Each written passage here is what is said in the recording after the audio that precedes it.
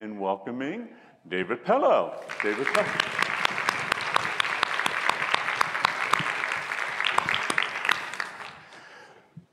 So,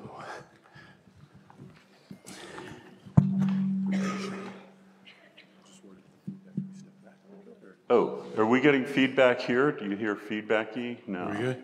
Okay. It might have been that speaker over there. Um, so, David, welcome to English 24. And David, really, I thought there were three reasons why we wanted you to come. One, we've um, not directly broached the question of environmental justice, climate justice in the class. We've had people talking about it in very particular ways. So we had um, Nicole Seymour here last Wednesday talking about LGBTQ plus um, issues regarding justice. But that's one job to talk about that. No, wait, did I hear feedback there? Is this? Maybe we should move back a little. I don't want to move back too far because we'll get into the light. Okay, how about that? Is that a little better? Uh, uh, Kevin, can you make the feedback go away? Do, are you hearing feedback? Is it, are these speakers live here or something? Is that the problem? Or maybe we're getting feedback because of my uh, lapel mic and David's got the handheld. So we'll see. Um, okay, second thing, we'd like to hear about your research. Uh, but also, uh, for people who don't know, David is a professor here in the Environmental Studies Department, and until recently, for four years, you were chair of the department. So if we have questions about the ES department, how it works, the major and all that, we can put them to David as well. So for everyone, we're in week eight. Lecture number 14, the Q&A is open on Canvas. I will be looking at that once I ask David some initial questions. And David, just so you know, in the middle of asking you questions, if I start looking at my phone, it's nothing personal, I'm not bored. Um, so I guess the question is, first off, I'm asking everyone the same one. How did you get interested in all this? Hold on. it'll work, it'll work. It's bound to work. Okay. There you go. All right. Thanks so much, Professor Hiltner, for, for inviting me to English 24. Thanks, everybody, for showing up. Uh, so let me, let me give a partial answer to that question by talking about this picture. This photo you see is from the early 1960s, probably about 1962. And the, the person there in the lower right, uh, short African American woman.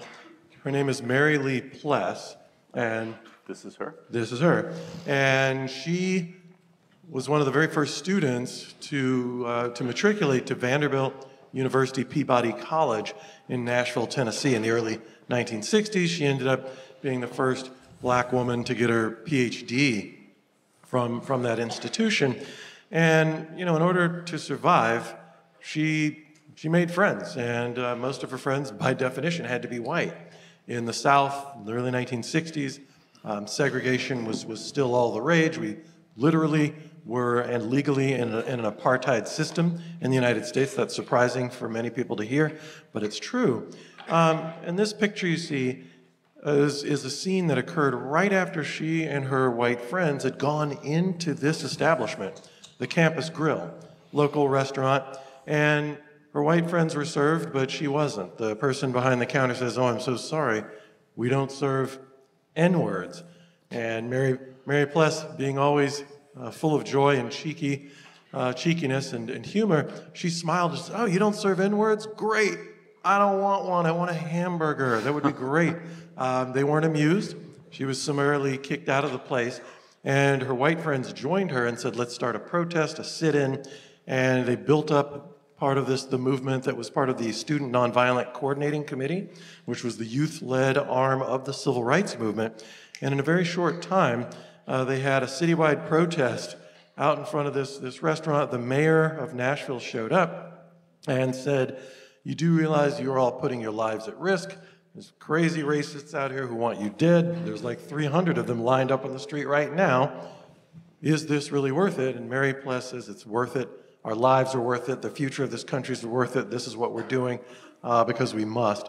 And so the mayor did a, a 180, walked away, and signed a resolution desegregating all of the restaurants in the city of Nashville. So this was a major victory for civil rights and human rights. Mary Lee Pless, a couple years later, met this guy with a sexy British accent. Um, he wasn't faking, he was actually from England. They, uh, they got together, continued to protest. They got married, and a few years after that, they gave birth to me, yours truly. Um, and so I have always been inspired by her example and the fire that she lit in my belly as a thirst and a hunger for justice. And that's what led me to my work. So I've always been in, involved in and interested in um, and deeply embracing and supportive of environmental sustainability, climate health, etc. Uh, but it wasn't until I really started to think about the lessons my mother and, and, father taught me about how to integrate that with, with a focus on equity and fairness and justice. So, so that's, that's how I got involved. this is such a terrific story, and it's amazing you have that image. Um, okay, so that's the, the justice component. Environmental, how did you get interested in that? So yeah, the, the environment, I would say my, uh, my dad was really primarily responsible for that. He, um, almost every weekend, we would go out swimming in a lake, going and going backpacking, hiking, cooking marshmallows, hot dogs in the backwoods of Tennessee, um, the, the Appalachian region there, some Great Smoky Mountains. So he, uh, he was responsible for that. But there was a, an incident one time when we were on a Saturday morning going to Percy Priest Lake, which was my favorite swimming hole. And I, as we were about to get out of the car, I, for whatever reason, I opened up the glove box, the glove compartment, and there was a shiny steel object in the glove compartment. And I knew that wasn't a toy, that was a gun. And I said, Dad, what in the hell is going on? I thought we were a family who didn't believe in this. He goes, Yeah, I did too. But did you hear the story about the riot that had occurred at another swimming hole and where white folks were attacking black people who were committing the crime of wanting to recreate on a Saturday on a weekend. Uh, this was happening in Chicano, Latinx communities and black communities all over the country. And he gave me sort of a short lesson, a history lesson, in how folks of various backgrounds, in some cases even, Jews, Catholics, certainly indigenous folks, people of color, um, immigrants, queer folks, have been made to feel unsafe in, in many environments, just trying to have, actually have a, have a good time, go recreate. And I appreciated the history lesson, but all I wanted to do was swim. So he kind of ruined it for me that day. But, but that was a lesson that stayed with me um, since my early childhood. And so, yeah, so I made it my mission to, to study that, to teach about that, and to promote um, access to, to green space, to open space, to recreational space as a small but important part of the struggle for environmental and climate justice. Yeah, that's great. That's great. And a great segue into my next question, which is um, again, we haven't had it directly. So, what is environmental justice? And if you want to talk about climate justice in there or just environmental justice as a start, and, and why does it matter? Yeah. So if you look on the United States Environmental Protection Agency website, they will define environmental justice as more or less the equal and fair development and implementation of environmental laws, environmental policies, protocols, et cetera. And that, that's a good start. Uh, but I'll, let me tell you a quick story to show you why that is inadequate. So when I was working and living in Chicago, there's a great environmental justice attorney, Keith Harley. He's still alive and kicking to this day. He tore apart that definition because he said the definition of environmental justice from the EPA's perspective is all focused on environment and all focused on the law. Because again, that's a good start, but it's not adequate. Because, David, here on the southeast side of Chicago, we literally have hundreds of companies and uh, various facilities and operations and development projects that are polluting the environment. And every one of them could be completely within, operating within the law. So following the law, no laws are being broken, and yet it would still be an environmental and public health catastrophe and an injustice because everybody on the southeast side of Chicago, whether you're white, black, brown, or somewhere in the middle, working class folks. So already that's an environmental injustice, and these folks are being, being poisoned. Um, but it's also the case, again, that this is perfectly within the legal limits. So his point is, is it was a political decision. It was a series of economic decisions that led to this extraordinarily high density of polluting, poisoning operations in this one small community. And applying environmental laws equally and evenly is not going to solve that problem. So that brings me to another definition of environmental justice, which goes beyond just sort of equally applying the law, which says, and this, this comes from hundreds of, of conversations I've had with activists around the world, and it's really a vision and a practice in which no community is unfairly or disproportionately burdened with environmental harm, with climate harm, et cetera, but also where ecological sustainability prevails and where democracy is practiced, where people are able to exercise agency, influence, uh, power and control over their lives, over their fates, and over the fates and lives of their neighbor, of their neighbors, hopefully in collaboration. Um, and so that's why it matters. Environmental justice and climate justice really matter, uh, not because we're so much focused on these quote unquote special interest groups, minoritized populations, indigenous peoples, immigrants, women, queer folks, etc. Matters because everybody is actually ultimately impacted. And so many Native American and other indigenous scholars and activists will, will, point out that it's indigenous peoples who are the stewards of some of the most biodiverse, rich regions on planet Earth. So if you don't give a damn about indigenous peoples, and a lot of us don't, um, sadly, if you don't give a damn about that, but you care about the climate, then you need to pay attention to what's going on with indigenous folks and their territories, their waters, their communities, and support indigenous sovereignty, because that is a surefire way to protect the climate and the environment for all of us. So those are just some reasons why it matters. Uh, great, great reasons, great definitions. And David, you mentioned something I'll just throw in here um, because it's really the first taste I think that we had in this class, if I'm remembering how I structured it. Uh, everyone watched the documentary Survival, Cooked Survival by Zip Code, which is based on the book, which is about 1996 in Chicago. You were there, right? You just mentioned you were in Chicago at one point. Um, what's up? What happened there, and how was that a justice issue? Yeah, so in, in the 90s, I mean, I could talk about a lot of things in Chicago. Of course, there, there, was, there was the heat wave. Uh, 1995 killed more than 700 people. And Eric Klinenberg has a great book called Heat Wave, I think, uh, on that particular issue. He's a great uh, professor of social sciences at uh, NYU.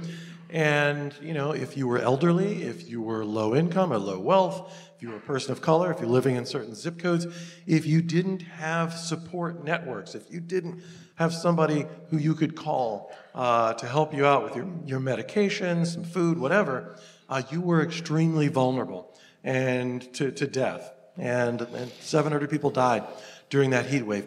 I don't know that a lot of people connected that to climate change at the time. A number of scientists were, of course, doing so. Uh, but politicians left, right, and center weren't paying as much attention to that at the time. But that was, that was a big event in the 90s um, in, in Chicago. But a lot of other great things were happening in, in the city of Chicago uh, at that time. This was a place where I was honored to be a, a part of the, the Midwest Great Lakes Environmental Justice Network. This was a, a group of folks from Detroit, from Chicago, from all over the Midwest, even Western Pennsylvania, Western New York, who came together uh, to devise a vision, a plan, a framework for how we could move our region, our bioregion, of uh, these, these great metropolises and the, the Great Lakes um, ecosystems as well toward greater sustainability, toward greater justice, toward greater, uh, greater equity. So a lot of great things going on in Chicago at that time. But yes, uh, at that time, it is true that that city, and I don't know where we are today, but that city was the single most racially segregated city in the United States. And me being a Southerner at the time, I'm from the South, I was like, wait, really? Wow, that would blow my mom away. She's like, Chicago, that's the North. You kidding me? Uh, yeah, and, and I know this because Wilmot James, who's a professor from South Africa, he actually came, did a talk at Northwestern University when I was there in the 1990s, showing spatially, geographically, how the apartheid system in South Africa had divided people by various groups, um, and how the city of Chicago was actually just as bad, if not worse. Uh, that, that was a mind blower. And here we are in 2024, still dealing with, with apartheid in this country and other, other parts of the world. Uh, but I am pleased to say that people are at least recognizing that and mobilizing uh, for, for a better world. So I don't know that I offered a partial answer to the question, but. No, you answered it. It's a great answer. Um, and actually, what you just said, David, got me thinking, maybe just to clarify to folks, you're, of course, a professor here at UCSB. Your focus is on environmental justice. So the class knows we're very fortunate. David's too uh, modest to note. He's probably the leading environmental justice scholar in the United States. Um, Bob Bullard's not here, so we don't have to put him to. but absolutely. But David, you think of yourself not just, or do you think of yourself just as a scholar, or are you a scholar activist? And what, in fact, is that? Yeah, yeah. I, I think of myself as a scholar act, activist, activist scholar. People use those those terms interchangeably. And I guess for me, what that that means is just a recognition that the production of knowledge, teaching of knowledge, sharing of knowledge, even receiving knowledge, consuming knowledge, uh, is, is never a politically neutral act. And by politically, um, I, I, mean an act that has consequences for, for the distribution of power, right? So it's not just about whatever, whether I'm politically independent, Democrat, Republican, Tory, Whig, whatever. Um, it's about understanding that knowledge can not you know people always say knowledge is power not necessarily but knowledge can reflect um, and, and be an opportunity to, to exercise power. And the relationship between knowledge, power, and democracy, in my, my view, is very important. Um, yeah, my, my mother, my father, my stepmom, all educators, and all understood very clearly that those principles, those truths, those practices. Um, and that for me, it's not just about, oh, well, let me make sure that what I think about the world I share and drill into people's heads and indoctrinate them. No, it's understanding that the knowledge I have today is always partial and that I always have to be listening and rec- receiving of new ideas so that we can work together collectively to try to improve our lives. So, so I do that all the time uh, in my classes, on campus, off campus. So I, I, had a class a few years ago, an undergraduate class and a grad class that were collaborating. Every student in the class worked with uh, a nonprofit organization in the region, and through this, this group called the Central Coast of California Climate Justice Network, and I did this speed dating thing where these activists from these organizations would come in and say, hey, we're looking to hire people, but we need to test your mettle we need to understand can students at UCSB produce knowledge that is useful for actually improving the climate in the Central Coast, in this region. We have several campaigns we're working on, and we would love your help. So students met with and interviewed uh, with these organizations through my class, and we decided to focus on two campaigns. And so this was activist scholarship, scholar activism at work. Uh, the students forced me to reduce the amount of readings by like half because they're like, dude, you, you want us to be out in the community doing all this crap? Like, yo, and it's important crap, but it's a lot of stuff. You better reduce the amount of readings in this class or, or we're going to not show up. We can't do both. So 50% on the readings, and so the students up their game on this activism. They were working on two campaigns. One was the Cat Canyon oil campaign. Cat Canyon is north of Santa Barbara County beautiful, biodiverse, rich region where three oil companies were proposing to drill nearly 800 oil wells. This would have impacted the water systems of 12 cities in our region. Some 200,000 people's water systems may have been affected by this, let alone flora and fauna, let alone climate. It would have tripled the amount of greenhouse gas emissions in Santa Barbara County if we had let these three oil companies in there to do their dirty deeds.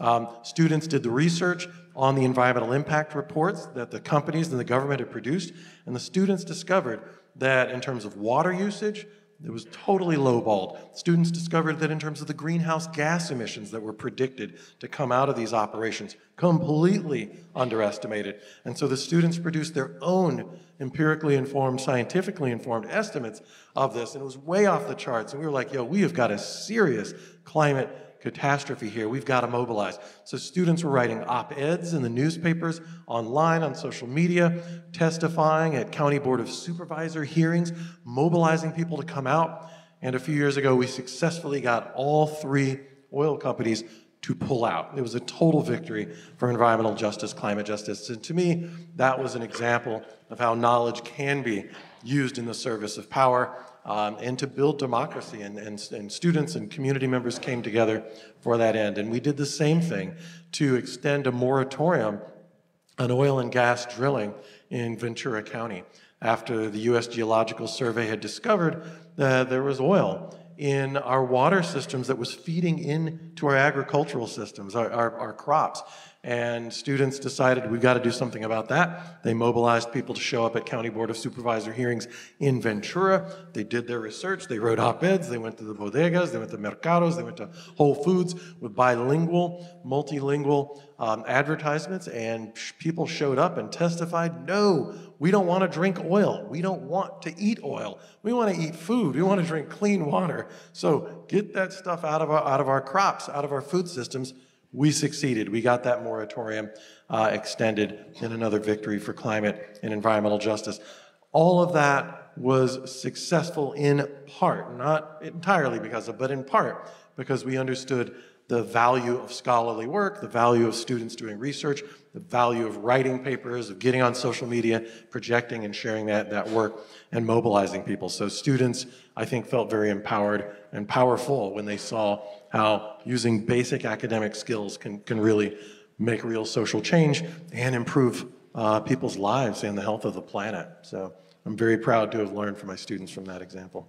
Yeah, those are great examples. And actually, it gets me thinking, I'll give you another one you can talk to. Um, the Eco Vista project, which is the notion that we could turn Isla Vista into an eco village, began in one of your classes also.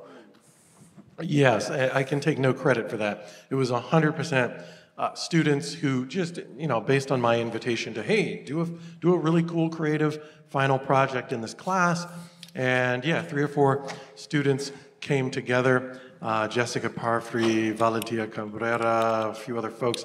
And yeah, they started this thing. Hey, we live in Isla Vista. Let's make Isla Vista a more sustainable, a more equitable community. And so Eco Vista was born. And I think one of the spin off projects is the IV, IV Food Forest, or that's certainly that's related right. right. to that. And uh, the, this idea that, yeah, we are going to produce food sustainably, you know, equitably, uh, healthy food, healthy, nutritious food, vegan food, plant-based diets. Um, in this land, in this space that we have, we understand we will honor the fact that we are on Chumash land. We will learn from that, that, that history and from Chumash leaders in the present who are in our community and uh, produce, produce food for folks who need it. Um, this is just one of many amazing things that folks are doing. I'll give a shout out to another group of students who, some of whom were in one of my classes. I can't take credit for this one either, but IVTP, the Isla Vista Trading Post, um, which is now a truly, truly successful operation, bricks and mortar operation, sometimes a pop up where people are providing clothing for, for folks in our community who need it um, for free and um, you know creating all sorts of value in reusing and sharing and repurposing uh, things that we all need, right? Clothing for, for, for our family members, our community members. So I have to say, this is just one of the, there's a couple of the, the most exciting examples of the kind of leadership that UCSB students have taken on that continuously inspire me. I never had ideas like this when I was a student. It was just a drone. Let me just take this freaking class and get through this thing. Um, and, you know, and I, also I couldn't even have gotten into UCSB with the kinds of grades that I had, believe me. So uh, it's wonderful that now I'm a professor and I'm learning from the people who did get in.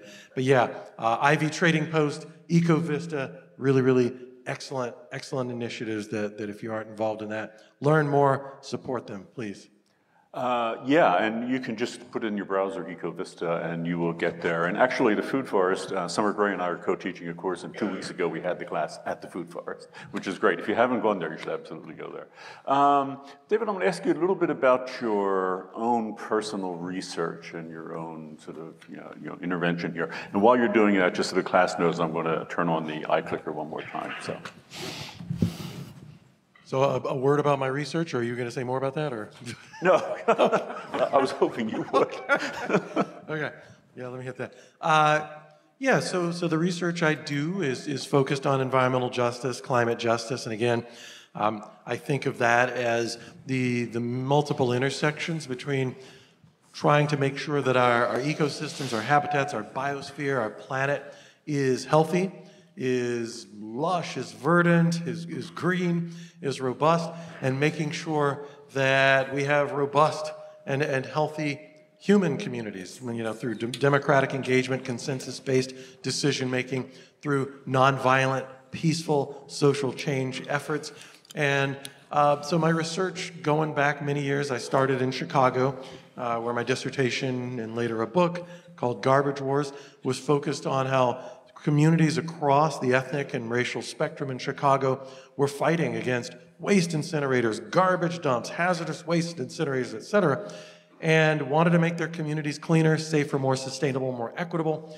And I chart, chronicled that struggle from the 1880s when European immigrants were dealing with that, when Jewish folks and Eastern European immigrants were being dumped on in the city of Chicago, all the way up to the year uh, 2000 where um, an even broader uh, ethnic and racial spectrum of folks were, were fighting for environmental justice and really were coming together and realizing that they couldn't just work to keep trash and waste and, and hazardous chemical incinerators out of their neighborhoods because it was always going to go to somebody else's neighborhood, that they needed to build a multiracial alliance um, to keep it out of Chicago and to reduce that waste at the source. So, so that was uh, one of the first projects that I was involved in. Then I did some work later on on looking at the, the high-tech industry, the electronics industry, or the, the IT industry, which I, I would say even to this day, but certainly over the decades, many folks in industry and certainly government and the media have really painted that, that industry as clean, as safe, environmentally pure.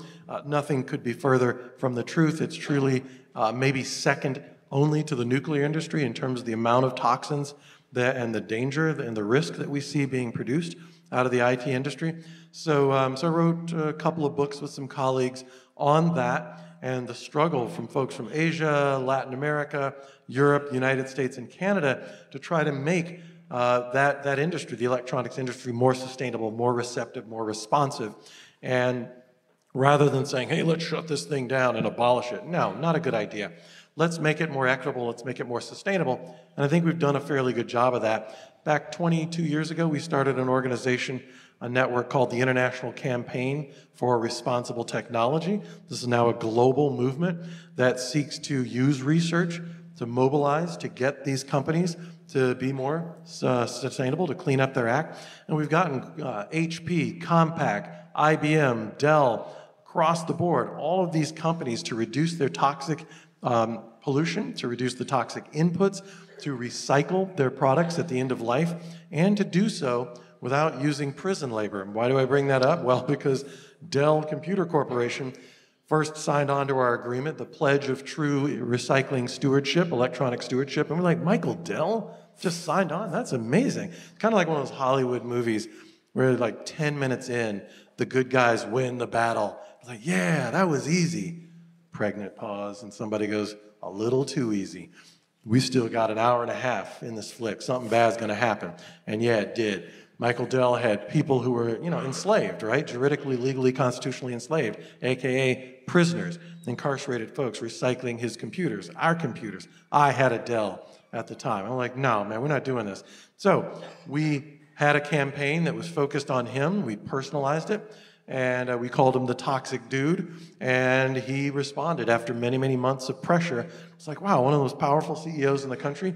He signed a pledge of no more e-waste recycling, computer recycling, uh, using uh, prison labor. We got all these other companies and countries, the entire U European Union and the entire University of California system, biggest university system on earth, to also sign this pledge. Um, and so we wrote up about that in a book called Challenging the Chip, uh, Labor Rights and Environmental Justice in the High-Tech Industry, something like that. The chip meaning the microchip. Anyway, more recently, I've been doing research at the intersection of carceral systems and environmental justice. So building on some of that work on the electronics industry, one of the things that we found was that Atwater Prison in the state of California, this was one of the places where incarcerated people were doing e-waste recycling, and it was incredibly hazardous work. And so I began to ask the question, are there other places where we can find the intersection of prisons or jails or immigrant prisons and environmental issues. And yes, it's quite difficult, in fact, to find a prison on planet Earth where the water is clean. Um, the water is often contaminated, visibly so. Many prisons and jails and immigrant detention centers are located smack dab on or next to hazardous waste sites or in flood zones, etc. And many of these prisons, as in the case of electronics waste recycling, are places where hazardous waste itself is being generated. A study in 2020 just found out I guess that's four years ago, um, that prisons in the United States, mass incarceration, actually produces an enormous amount of greenhouse gases just through the everyday building and operation and the maintenance of prisons. So again, this is an example like the indigenous sovereignty example I was mentioning earlier. If you don't give a damn about prisoners and you just think, oh, they've all committed crimes, they're all guilty, lock them up and throw away the key, okay. Do you care about the climate? If you do, we need to focus on prison abolition. So this is yet another example of how single issue scholarship or single issue politics is always narrow, overly narrow and limiting. Think about the intersections, how we connect the dots between one struggle, one issue, and another, uh, and you will almost always find a more productive and creative and impactful way of thinking about the world and thinking about how to change the world. So, those are some examples of some of the research I've been doing. That's all. um, okay, so the next, the big, the question, the final one I um, talked about is that you're representative of ES, that's your uh, department, and you were chair there. And um, if you could tell us a little bit about it, but I, I've told you the story before, you were there. Um, when a colleague of ours introduced you as the chair of the ES Environmental Science program. So I think a lot of people think ES is science or mostly science. I mean, you can get a BS there, you can also get a BA there. So what's our ES program? And, and for people who don't know, we have one of the largest, oldest, and most respected ES departments in the country. There you go. Yes, Environmental Studies program. I'm proud to be a faculty member there. Yeah, we've been around since 1970. We were one of four organizations, if you will, that were founded in the, in the wake of the 1969, what, what is often called the Santa Barbara oil spill, although many of us are, have rebranded that as the Unocal oil blowout, because Unocal was, Ken, are you, are you texting? I'm just kidding. uh, the Unocal oil blowout, because the Unocal was the name of the company, uh, Union Oil of California was the name of that company. Uh, they're responsible for that, that oil spill, that oil blowout. Santa Barbara wasn't. Anyway, Three other organizations were the Environmental Defense Center, which is still around today, does incredible work. This Community Environmental Council, an amazing organization, still around today.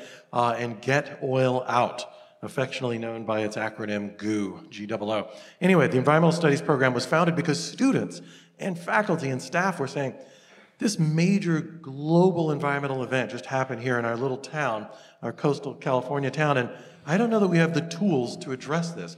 We need a new department, a new program, a new discipline to do this. So, um, environmental sciences is, is one third of that. Environmental humanities is one third of that. The environmental social sciences is the last third of that. And it's the one major on campus, I think, where you have to actually take classes in the sciences, in the humanities and the arts, and the social sciences to get through. So we pride ourselves on that. Uh, we also are a, a, department that, that has, I'd like to say, three additional fo- focuses or foci. One is we are solutions oriented. So, yeah, there's a lot of talk about, oh, the climate catastrophe is horrible. What are we going to do about that? We're doing stuff about that. That's all I've been talking about today solutions. Another, uh, the second leg, of course, is, as I've just mentioned, is interdisciplinarity or multidisciplinarity, right? No single discipline is going to solve this problem. Uh, every discipline has something to, to offer us. And the third is a focus on equity. So those three, those three pillars, equity and justice, interdisciplinarity, and solutions focus. We have a lot of fun. We throw the best parties. We have the coolest staff and students and faculty because basically our students are also double majoring in all sorts of other places. So they're in English, they're in econ, they're in the sciences, every, everything in between. So it's a great place to hang out. And um, yeah, I'm not going anywhere, so feel free to come by my office and, and chat. And, and, David has a great office with a great view. So. Um, but you're talking about students, so it's a very diverse group of students in ES. Um, so could you just address that a little? Because I think we might have the idea that it's sort of, you know, again, science focused, certain group of students, but not the case.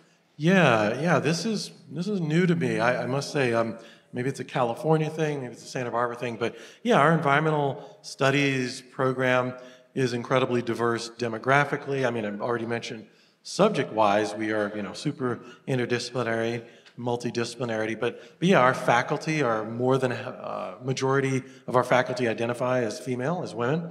Uh, a quarter of our faculty identify as people of color. Uh, our more than half of our majors identify as women, as, as female.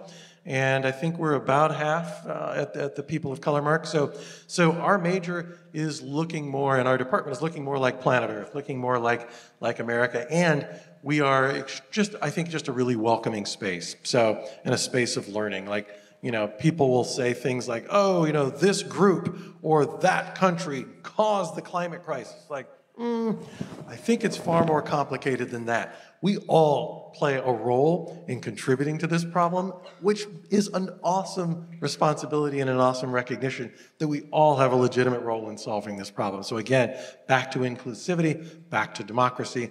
Um, environmental studies is, is, a great, great space for that. So, yeah. Um, definitely, definitely one of the most diverse uh, in, environments I've been in. And um, amazingly, one of those positive environments I've been in, I gotta tell you. Uh, there are times when, you know, the stuff will hit the fan. I'll hear something in the news. Oh, there was another oil spill or something. I come into my class and my head's hanging low. And the students are like, chin up, Pellow. We got work to do. I'm like, oh, okay. So I get inspired by the students. Somehow we can never get y'all down. So I don't know. Um, I'm learning from the students every day, feeling feeling motivated. So yeah, a really good positive space, cool. like the rest of the campus. Yeah. Let's just say that.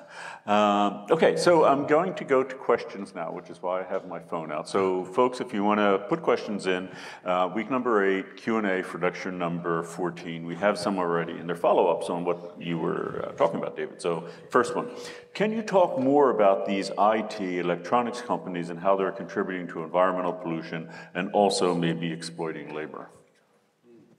Yeah, I mean, it's a, it's a really important question and a big question because, of course, IT companies are, even if it's a local company, it's part of a global network. So anything that affects one community, one company, of course, affects all.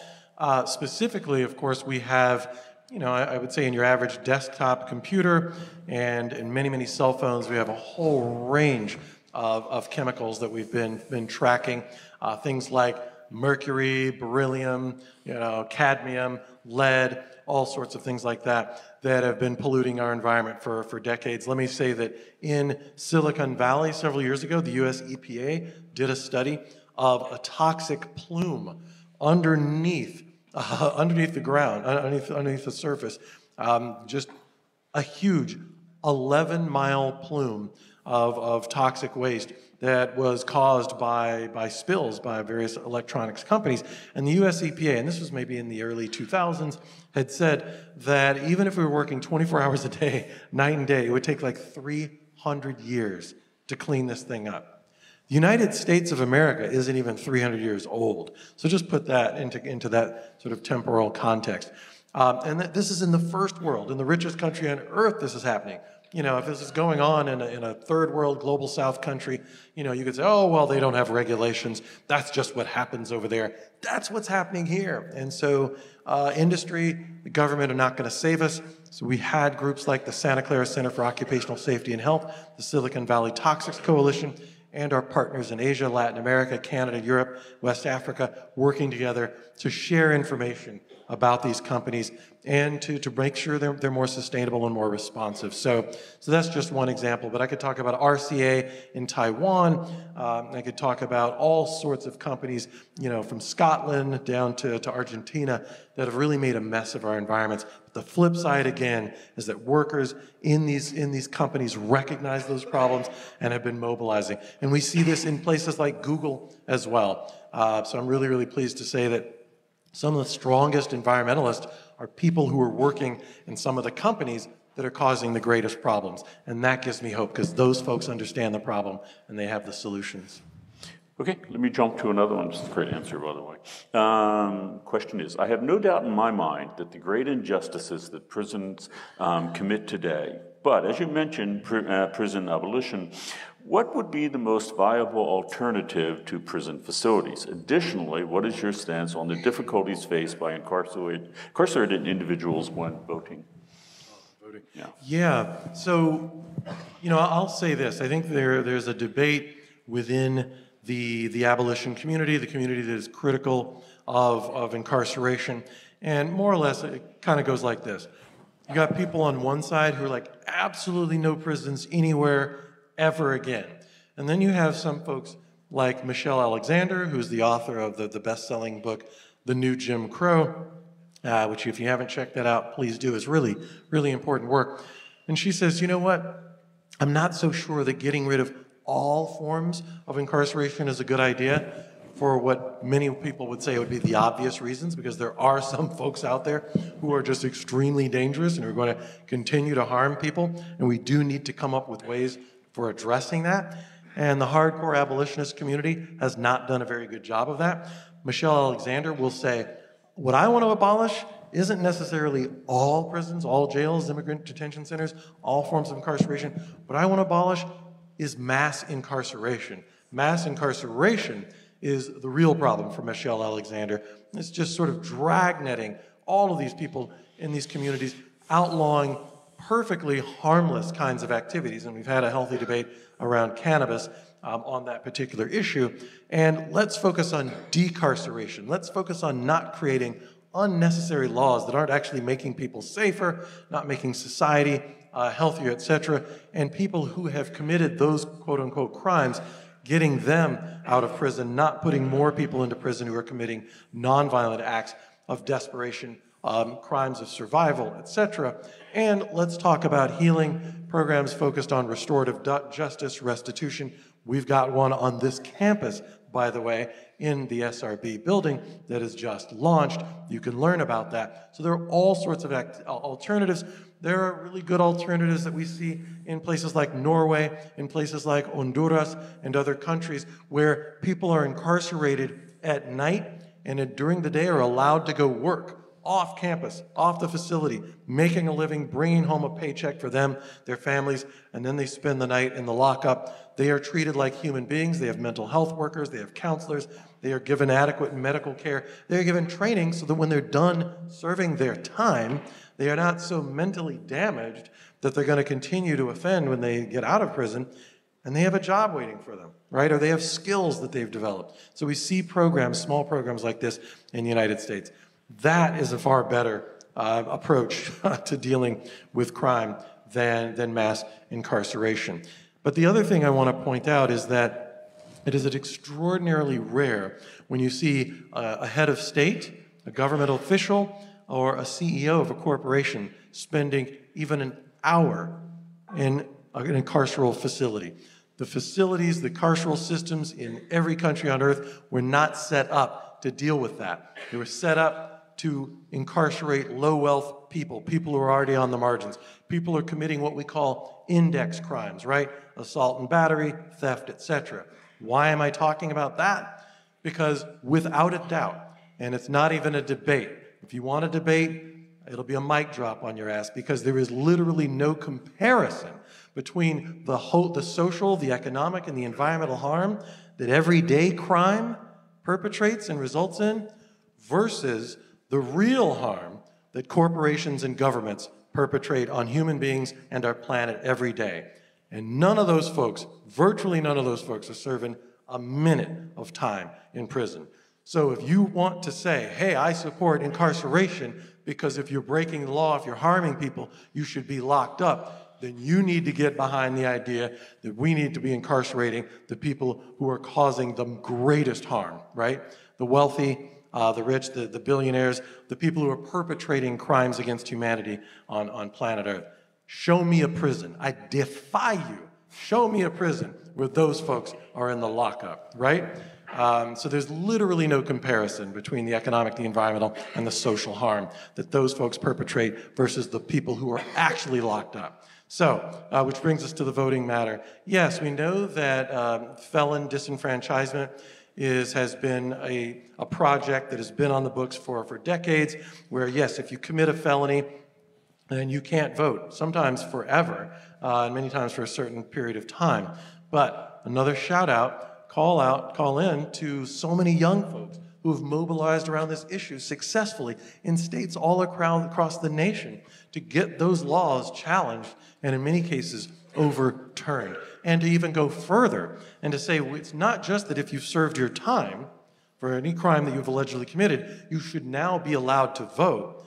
But also, let's take a deeper look, going back to my earlier point what kinds of crimes are deemed felonies in the first place? Again, why isn't polluting our air, our land, our water, our soil, our bodies deemed a crime, deemed a felony? Why are those folks allowed to stay out of prison and allowed to vote? Why are those folks actually pumping millions of dollars into our electoral systems so they can get the kinds of crony politicians elected or selected so they can continue to pass laws that benefit them.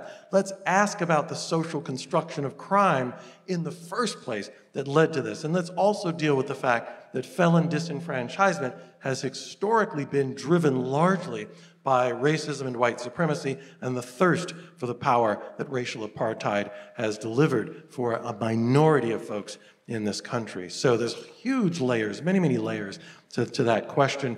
Uh, and it goes back to the work my mom did. She couldn't vote, you know, at that time um, without having to go through all sorts of barriers because we didn't have the Voting Rights Act or the Civil Rights Act in 1962. That picture of her was during an era, again, of legal apartheid, particularly in the South. You, the hoops that you had to jump through just to be able to vote in the South. And then when you voted, you were generally voting for somebody who wasn't representing your interests. And we see this problem today with gerrymandering, with precision like accuracy in districts all over the country. And thankfully, people are challenging uh, that, that system in, in the courts. But the impulse is there. And that's, some would say that's natural because it's like, well, if I'm part of this political party, I want to set up a system that works for me. I get that, uh, but that's not democratic. And young people have been successfully challenging that in so many ways. So glad to see that. Yeah, it's, it's terrific. So um, the next speaker on Wednesday is Naomi Oreskes is going to be talking about the injustice of the fact that the tobacco industry, for example, killed millions of people selling a poison, and none of those folks ever went to prison. None of the folks in the fossil fuel industry are going to prison. 100%. Um, 100%. yeah. Um, so I'm going to be skipping a few questions because we only have a certain amount of time, but here's another one. How can we stop the gold and silver mining in South America to stop poisoning and deforestation in the Amazon so it won't become a desert and impact the global environment? Yeah. So David, how do we do that? what, what, what, kind of mining? Uh, gold and silver, yeah.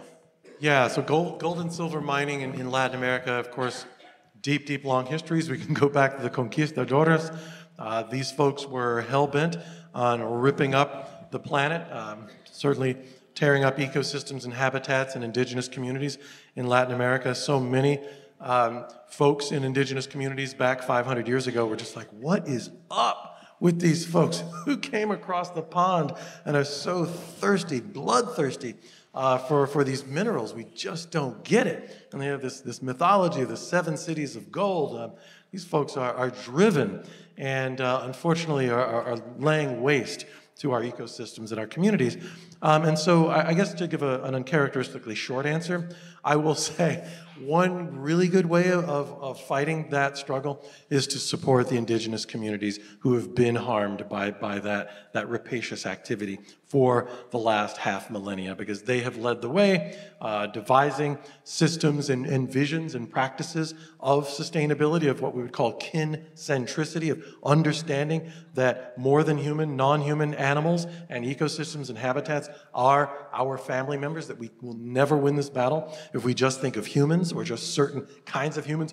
People who look like me, for example, as part of our family, it's got to be everyone.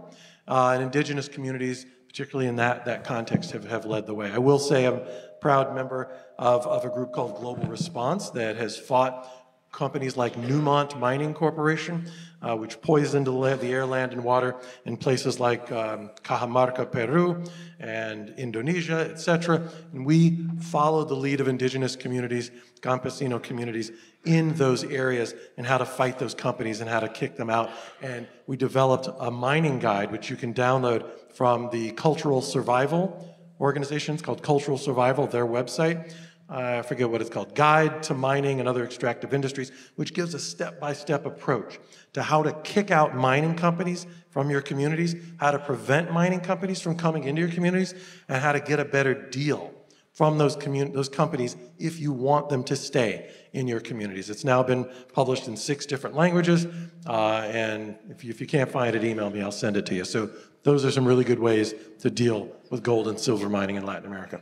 Yeah. And if you're interested in this, there's a professor in the anthropology department, Jeff Hoelle, who also has an appointment in environmental studies, has actually gone down there with those folks during the extraction to see what it was like. Anyhow, next question. Um, I really appreciate your optimistic attitude when discussing these topics, but how do you keep so positive while teaching about environmental issues and current events that share such bad news for the climate? You know, I think my personality, my genetic disposition, I don't know what it is, just yeah, in the face of all of this shit we're dealing with, I'm just just a chipper dude. You know, I, I wake up in the morning singing, snapping my fingers. So there's there's clearly a chemical imbalance in my brain. I can't explain it any any other way. Um, one other contributor is is again, I mentioned it earlier. The students on this campus, for some reason, I can't get y'all down. I try to depress you. I try to like be like the glass is super half half empty people, and the water that's left in that glass is toxic, it's poisonous. And students like, cool, well, we're gonna develop a water filtration device and we're gonna sell that or give it out, distribute it for free, and we're gonna challenge the system that produced that water and we're gonna make sure there's more water, we're gonna harvest rainwater. I'm like, damn, I'm trying to get y'all down in the dumps and I can't do it. So um, that's it. That's it. It's the students and a chemical imbalance. yeah useful chemical uh, we actually had uh, last week Sister True Dedication, a co-wrote Zen in the Art of Saving the Planet about mindfulness practice and all and how that can help. But yeah. Um, yeah, well, and yes, and I, I do yoga. I, I, I walk every day, and yeah, yeah. So that helps. Yeah. That helps. And I listen to good music. So. you do listen to good music. uh, so, how do you feel about uh, the referendum on um, California Senate Bill number 1137 if you happen to have the capacity to speak about it? I have no idea what that is. Please tell me and enlighten I, me. I don't know what it is either, actually. I should. Okay. If someone wants to do a follow up question on there regarding what it is. Um, I mean, if you know the title of it, I might be more familiar. Um, okay, so we're going to get to another okay. question. Uh, this one goes back to prisons. Uh, is there a way to incorporate environmental justice aims into rehabilitating people in prisons?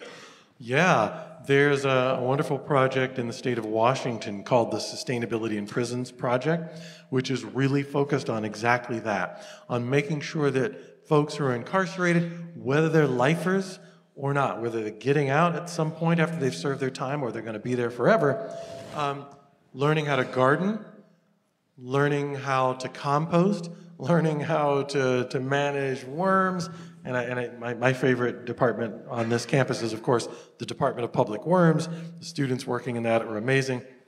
Um, learning, learning how to, to literally get in touch with, with cycles of life and understanding how to sequester carbon through composting, understanding how that um, leads to and contributes to regenerative agriculture, the kinds of agriculture that, in addition to producing food, sequesters carbon and is a climate, part of the climate solution, and is a really invaluable skill for these incarcerated folks who, again, they get out of prison. And not only do they have skills for agriculture, gardening, landscaping, and they're getting jobs in that sector, but just as importantly, maybe more importantly, they're not mentally damaged in the ways that so many people who get incarcerated end up becoming. Um, they are so much healthier um, psychologically because they've been doing this work. They've been connecting with nature, literally connecting with the soil. And there are studies after studies that show that when you are putting your feet and your bare hands in the soil, it has all sorts of health benefits, physical and mental health benefits.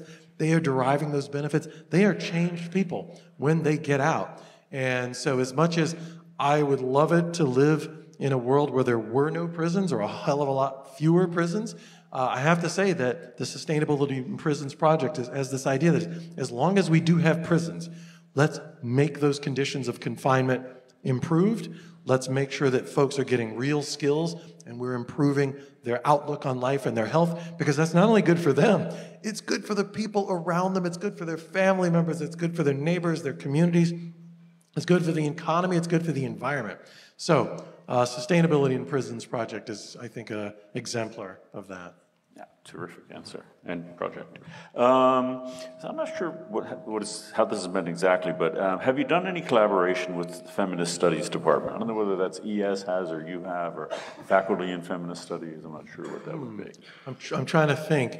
I, let's see, feminist, off the, off the top of my head, I can't think of one. Although I will say that in my work and my research and, and certainly my classes, uh, feminist scholarship, feminist theory, particularly ecofeminist scholarship, deeply informs uh, my work. I would say that attention to gender dynamics and, and the, the role of patriarchy and heteropatriarchy has been, uh, we've been Johnny come lately to, to that scene in the environmental justice literature and in the movement.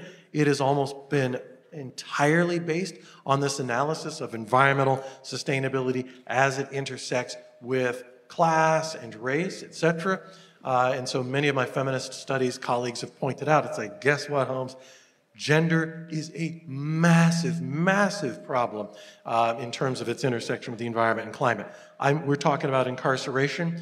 Well, one of the things, one of the problems I have with the so called abolitionist movement today is they are so focused on the, the actual lockup, carceral systems, bricks and mortar uh, environments, the prisons, the jails, etc. I'm focused on that. But I'm an African American, right? I'm a multiracial person who's actually focused on the history of abolition, which wasn't always about prisons. It was about slavery and enslavement. Here's a little dose of bad news if you didn't hear this before. In 2024, there's more human beings, there are more human beings on planet Earth who are enslaved than at any other time in human history. There's a whole host of reasons for that. But the majority of folks who are in that category are people who are actually in forced marriages. So it's not that people are in the lockup, in prisons, etc. It's not even forced labor. That's a huge part of it. But the biggest part of that uh, that enslavement is forced marriage. And that's controversial for some folks. I welcome that controversy. I don't think anybody should be forced into a lifelong uh, relationship. And so many scholars and policymakers and advocates have defined that as enslavement. Even taking that out of the picture, forced labor, indentured servitude, bonded labor, child labor, sex trafficking, etc., massive examples of human enslavement in 2024. Where is the abolitionist movement on that? I don't even, I couldn't even tell you. It's, it's ridiculous. But we have a lot of people who are focused on that because it turns out that some of the greatest contributors, and I forgot what your question is, but I'm just going to go off for a minute. Some of the greatest contributors to environmental harm and climate harm on planet Earth are coming from industries and sectors where people are enslaved. The seafood industry, the timber industry, the gold mining industry, so thanks for that. Um, Oh, there, there's a place in, in Peru, Madre de, de Dios, I think, uh, an, an, example of where gold mining and enslavement and environmental harm come together. So, again, if you don't care about human slavery, cool. Actually, not cool, but whatever. If you don't care about that, but you care, you're an environmentalist, well, you should care about slavery. Kevin Bales um, and Benjamin Sovacool have recently released a study that shows that I think if you added up all of the human beings who are enslaved on planet Earth, they would be the number two, number two contributor to global climate change emissions. This is extraordinary. We're not blaming those folks, we're blaming the system that is enslaving folks. So you hear something like that, and that is empirically based, that is actually scientifically documented, you can't unhear that. You can't unsee that. You can't say, let's solve the climate crisis, but enslavement, let's leave that alone, right? So, abolition, prison, all of this stuff, it's connected to the climate crisis. And this is a wonderful opportunity. It's an invitation to, again, link various struggles, link and connect dots between this issue over there, that issue over there. Like, boom, this is what intersectionality is about. That's a term people throw around with abandon. That's a part of why intersectionality makes sense. We can all work together toward the solution. Yes, we may be contributing to some of the problems, but again, that links us to the possibilities of making this world a better place. So, um, how do I stay chipper doing all of that? Again, students and something going on in my brain, but yeah, I'm here. Uh, so first, thanks for that. Oh, so first to folks, um, Q&A is still open, number 14, week number eight throw your questions in. We still have a few minutes.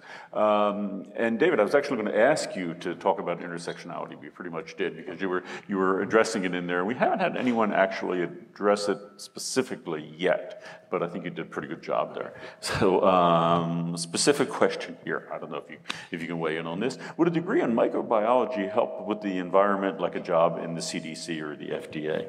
Yes. I mean, seriously, uh, I can can't even count on, on my, my fingers and hands and toes how many students have come through UCSB who've gotten jobs at Environmental Defense Center, at Community Environmental Council, at uh, the Central Coast Alliance United for a Sustainable Economy, at the Fund for Santa Barbara, at the foundation, the, the Santa Barbara Foundation. All of these organizations in this region were constantly hiring people who care about, who are committed to the environment. So yes, a degree in microbiology Hell yeah.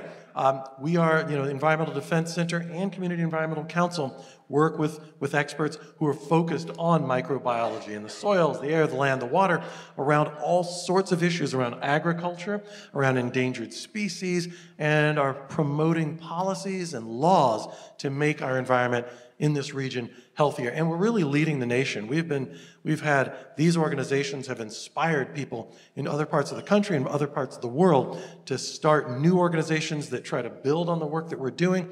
Um, we've created a Green New Deal framework uh, for Santa Barbara and Ventura County, and the science was important to that. So, yes, there are tons of opportunities.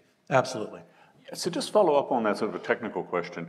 Um, with ES, it's not possible to do a minor but there are a ton of people who do joint major with ES. Is that so? I mean, some were interested in microbiology, but they had an environmental interest. Is that the, the approach people would go with? Yeah, that's certainly one, one approach. Um, we have, as I said, I forget what the percentage is, but if you talk to our undergraduate advisor in environmental studies, uh, Eric Zimmerman, he will he pull up the numbers. We have a huge percentage of people who are either environmental studies majors and minoring in another place or, or vice versa, but who are drawing on, again, yeah, whether it's microbiology or other biogeochemical sciences, um, and marrying that, integrating that with, with other fields, and just finding new ways to think about these, like, these grand challenges of our time. And, and we also have this thing called the outside concentration with, within environmental studies, and that, that's basically the minor where you take all these classes in another department or another sort of group of departments around a particular issue that, that you that really motivates you, that really inspires you, um, and allows you to go deeper into a particular area um, and get you over the hurdle for that degree. But yeah, but our undergraduate advisors are amazing. They can give you all that, that information. But yes, um, if you're interested in microbiology or any other, any other uh, discipline, you can bring that, that work to bear in environmental studies. And you can also, of course, do a senior thesis. Um, you can all, the, on any project you're interested in, and you could also be a part of the Environmental Leadership Incubator. Many of you may have heard of that, where we pair you up with a mentor who's often alum, an alum of UCSB, or a professional out in the field who can help guide you doing a research project that will have a high impact on somebody's community around the world on some really, really important environmental issue. You'll get credit for that. And there are ways and get, you know, we've got internships, you can get paid, we have all sorts of scholarships. Every year we hand out about $50,000 in scholarships for our students doing all sorts of work. Field studies in countries all around the planet. People are studying whales, people are in Costa Rica working on endangered species uh, restoration of beautiful turtle population in Costa Rica. This project, uh, Wagner Quiros, who graduated from Bren School, has been working in this organization called Bioma, takes students down who are helping local people harvest the eggs of these turtles up to a point so that people can get their protein, but we can make sure that this turtle species lasts and is thriving and is healthy, and they're collaborated with the city council in this town of Costa Rica. Uh, and it's just a beautiful collaboration, and students are learning the science. They're bringing the arts and humanities to bear in this work, and they're getting an enormously important uh, and vibrant experience of traveling abroad and learning a new language and, and applying, applying knowledge. So, all kinds of, of opportunities um, in environmental studies. Yeah, that's terrific. Um, and the person that David mentioned, um, Eric Zimmerman, who is the undergraduate advisor, was an under, was a UCSB undergrad and has been the advisor there for, I want to say decades, but for quite a long time. And, and ask Eric anything about anything that David just mentioned, and he's uh, on the ground, the person really to address that. But actually, give another plug out. Um, so many of the people in here, one of the TAs for the class is Meet, and Meet is working with you, bringing a database online. It has to do with prison. So just to give the plug for Meet, what's that about? Yeah, Meet is doing some amazing work using all sorts of programs. I think, you know, GIS, I think he's using R, some, some computer language, some computer programming. He's, he's, he's brilliant. And yeah, he's looking at, he's creating uh, a, a, database, data set, and drawing on other, other sets to create a visual tool for, for mapping the, the intersection between a whole host of, of environmental and climate hazards and, and our prison systems and our jails in California. And he's doing it in collaboration with organizations who are focused on environmental justice and in particular immigrant justice. So, so he's also looking at immig immigrant prisons, immigrant detention centers. He could explain it far better than, than I ever could. But, uh, but yeah, our first meeting, he's like, David, here's this map I've created, and it just visually just laid out where the people are, where the prisons are, where the hazards are. And it just gives you tools, and people have used these tools to, to mobilize environmental justice campaigns.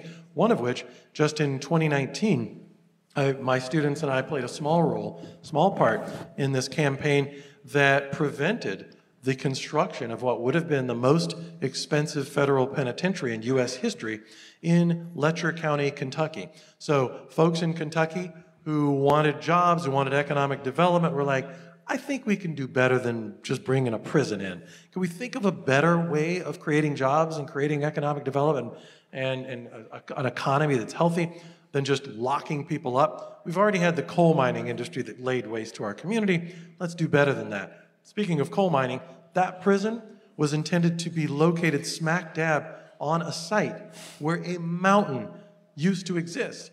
There's no longer a mountain there because the coal industry blew up the freaking mountain in what is called mountaintop removal. Um, and you don't need a lot of you don't need a lot of people to do that. Stick a dynamite in there and blow it up. It's like Yosemite Sam. I mean, just blow this mountain up and uh, get to the coal seams, lays waste to the ecosystem. So they wanted to put a prison on top of that. Well, Letcher Governance Project, a grassroots group of folks in Kentucky, connected up with the Campaign to Fight Toxic Prisons, an organization that I work with, and, and a whole host of people who are currently incarcerated who wrote letters to the Federal Bureau of Prisons and said, we could at any moment be moved to that prison, because that's how it works, you can be moved around, but that prison is toxic, there's all sorts of environmental hazards there. The water is unhealthy, and they're endangered species. The Indiana bat, the gray bat, we're suffering from white nose syndrome. This is a horrible idea. Can't we come up with better, better ways of dealing with our social and economic and environmental problems? Well, in July of 2019, the Federal Bureau of Prisons withdrew that project. They said, yo, you won. Your comments on and your analysis of the environmental impact report, we agree. It was going to be hazardous for endangered species. It was going to be hazardous for the environment, bad for people. We will not build this prison. This was a major victory. And I, am just pleased to be a, a, part of these networks. And again, it was students who really played a pivotal role in that. So. Uh, I can't think of a better, more positive sort of student, faculty, activist note on which to end. So, everyone, would you thank David Pellow for coming today? Okay, and um, I'm going to do the last iClicker now, and then. Um, We'll see you on Wednesday for Naomi Oreskes. Okay, thanks so much, everyone.